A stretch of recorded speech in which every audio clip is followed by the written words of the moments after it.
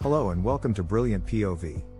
The enigmatic life of the renowned composer Ludwig van Beethoven, who passed away on March 27, 1827, has long captivated the world.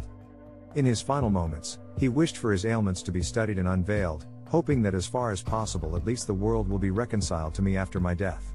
Today, in a breathtaking scientific breakthrough, researchers have begun to fulfill this wish by examining preserved locks of Beethoven's hair and sequencing his genome for the first time exposing astonishing details about his health and lineage. This enthralling study, published in the prestigious journal Current Biology, aimed to shed light on Beethoven's health struggles, particularly his progressive hearing loss.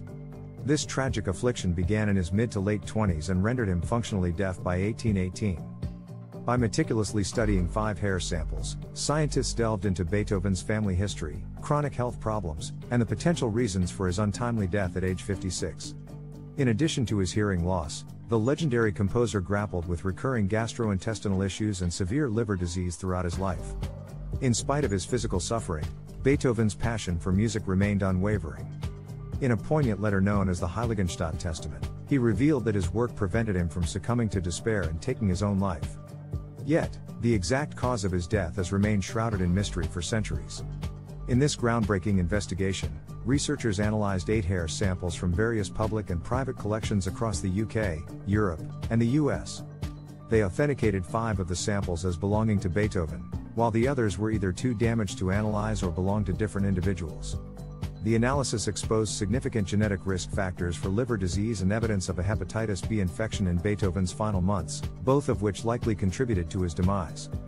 However, the study did not find a definitive cause for the composer's deafness or gastrointestinal problems. The researchers also ruled out other potential causes of his ailments, such as celiac disease, an autoimmune condition, lactose intolerance, or irritable bowel syndrome. Beethoven's known penchant for alcohol, combined with his genetic predisposition for liver disease and hepatitis B infection, might have formed a lethal concoction that impaired his health in his final years. While this study offers a remarkable glimpse into Beethoven's enigmatic life, the researchers acknowledge that there is still much to uncover, including the reason behind his hearing loss. By making Beethoven's genome publicly available, they hope that future research can provide more answers. In an unexpected twist, the research team discovered an inconsistency in Beethoven's genealogy when they compared his genetic profile with the DNA of living relatives in Belgium.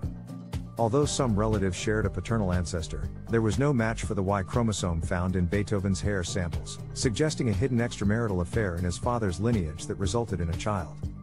This groundbreaking study unveils the fascinating and emotional journey of a legendary composer, revealing long hidden aspects of his health and ancestry, and opening up new avenues for future research. Thanks for watching, please subscribe.